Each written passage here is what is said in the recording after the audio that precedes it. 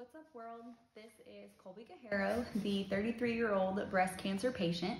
And today I wanted to go over with you my pathology report from the biopsy that was done. And I picked up this report on Friday, November the 12th. And the biopsy, if you'll remember correctly, was done a week before on November the 5th.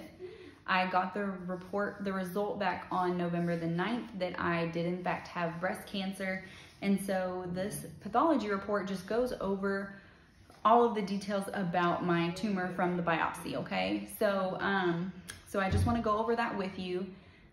And please understand that I am not a medical doctor. I am not an oncologist, and I am just gonna relay information that I have just either learned on my own from my own research or from my breast surgeon or medical oncologist. And again, these are just my understandings of what is going on, okay? So if I am wrong, I will correct anything that I have um, learned that is inaccurate in a future video. So, um, so again, please don't take everything that I say as gospel truth because again, this is just my understanding of what is going on in my life in this insane time of trying to understand what all this means, okay?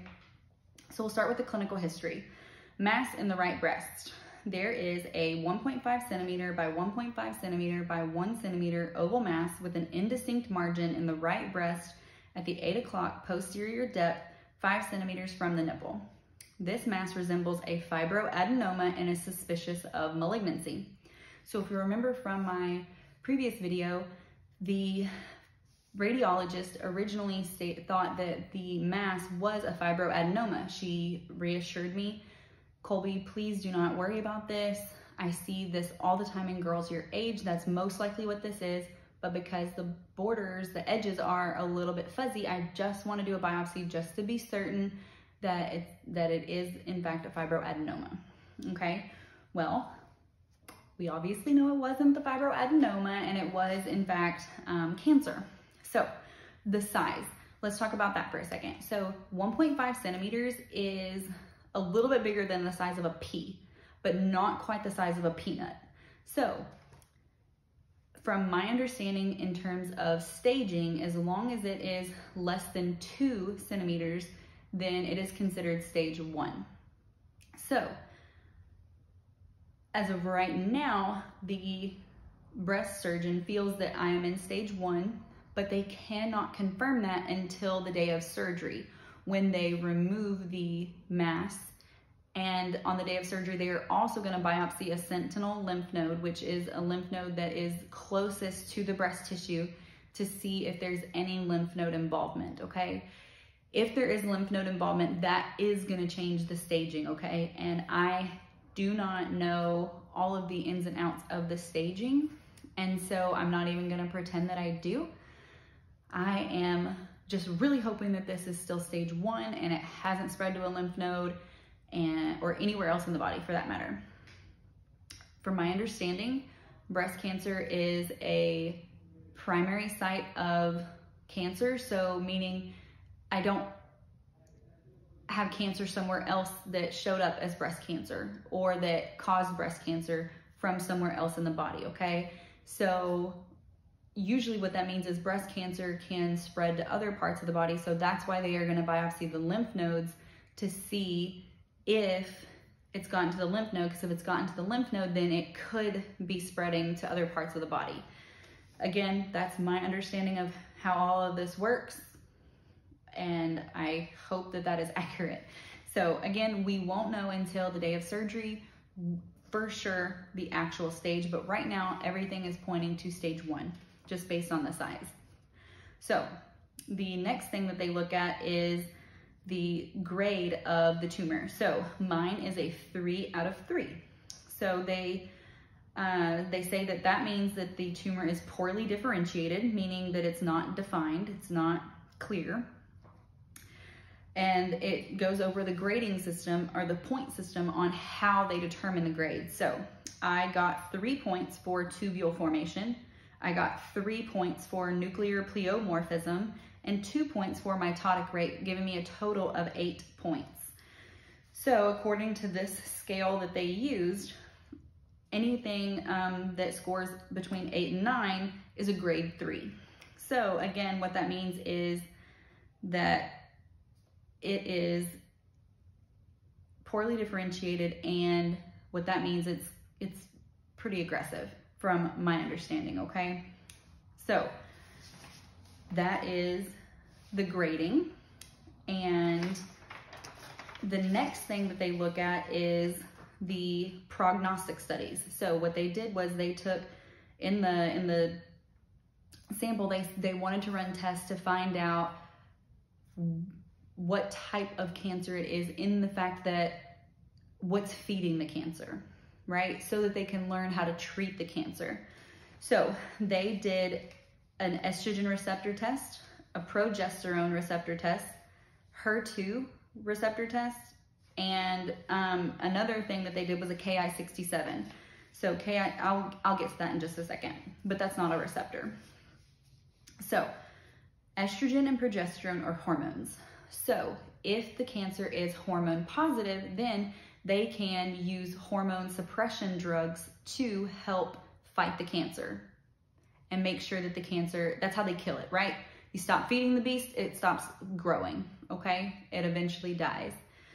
So my cancer is estrogen and progesterone positive for both. So I am hormone positive. And that's why um, my medical oncologist wants to do the chemo for the 12 weeks, or one of the reasons she wants to do the chemo for the 12 weeks is, um, I'm sorry, that has nothing to do with chemo. That is why she wants me to take anti-hormone therapy after the chemo for several years in order to make sure that we stop feeding the beast, okay? The next, um, oh, before I go to the next one, from my understanding, if my cancer was estrogen or progesterone negative, so i.e. hormone negative, that would just change how they treat it. So they would use other medications that I am not familiar with because that's not my type of cancer. So, um, so that is a little bit different there. I, I don't know that, that answer. I don't know what that path would look like, but I do know that there are other things that they'll use to treat that type of cancer if it is hormone negative. And then the next one is HER2. So HER stands for human epidermal receptor 2, okay?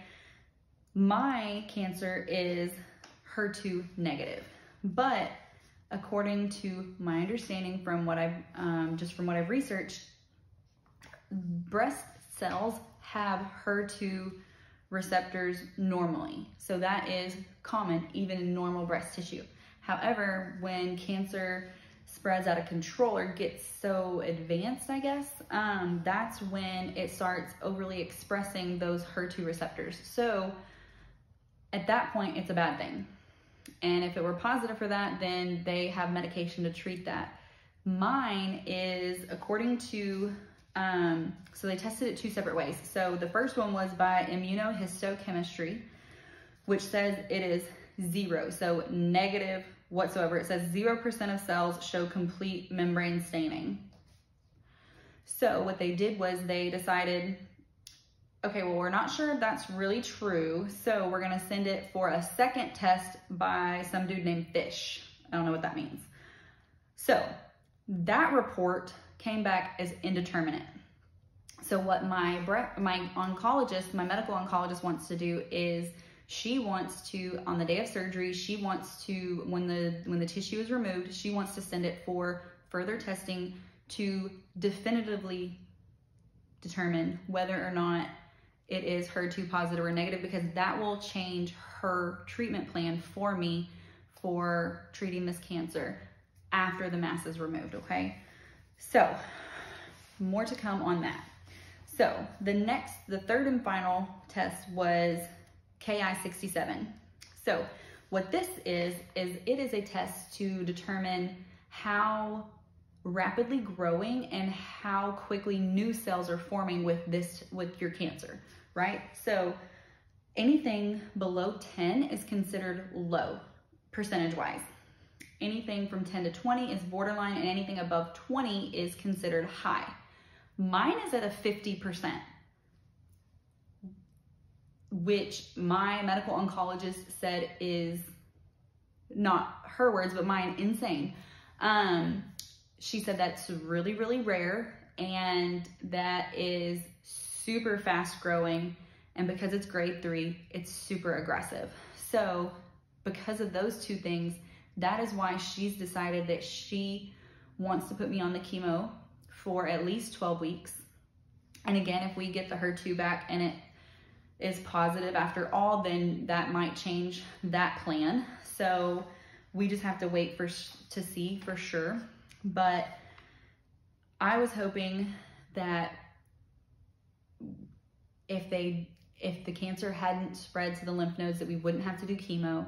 But she explained to me that even if it is only in the breast tissue and hasn't gone to the lymph nodes, then she still wants to do chemo because of how aggressive and quickly growing this is because it is number one again so rare for somebody my age who's really healthy to get cancer of any type. Second of all for it to be this quickly growing she is really concerned that even if there, that if, if there is just even one little cell of cancer left in the breast tissue at all because even the the most excellent breast surgeon in the world can't get rid of all of the breast tissue, right? So she said that she doesn't want to take any chances. She just wants to kill all the guys, quit feeding the beast, kill everything. So that is where we're at with the pathology report. So that's all of the report that I have. And um, I will keep you guys updated once I learn from surgery what is truly going on with the HER2 and if that changes our plan. Um, second thing, since we're talking about pathology, I thought that I would give us fun facts about just some dental pathology. And again, I'm not a dental pathologist, or excuse me, an oral pathologist. And so I am no expert, but what I can tell you is that if you develop a sore in the mouth, a lesion of any kind, rinse with warm salt water. Warm salt water is the absolute best thing. It is just the cheapest and easiest way to heal anything in the mouth, okay? So rinse with warm salt water several times a day. If after two weeks, whatever is in your mouth hasn't healed or hasn't shown improvements, go see a dentist. Go see a, a dental specialist or, you know, a dental professional of some sort just to have it looked at, okay? What's gonna happen usually at that appointment, uh, the dentist will a lot of times take pictures or make really good measurements and things like that to document the size and description of whatever is in your mouth. They may prescribe medication, they may tell you to do other things, but usually what they'll do is they'll want to themselves monitor over a period of time, okay? So don't be discouraged if that is their recommendation, okay? That is for us to be able to document for our purposes and compare. So sometimes we'll even take pictures, okay? So don't be discouraged if something shows up and it's not healing or anything like that.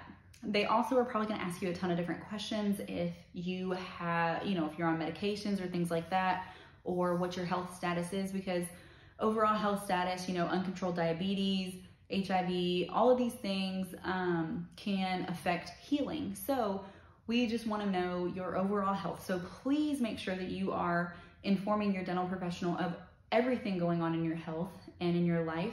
Um, I remember that I had a patient in dental school tell me that, why do you need to know that? It doesn't affect my mouth, but it does. So remember, blood runs through your mouth. Your mouth is our area, right? So we care what's going on overall through the whole body, not just in your mouth. So make sure that you share all that with us.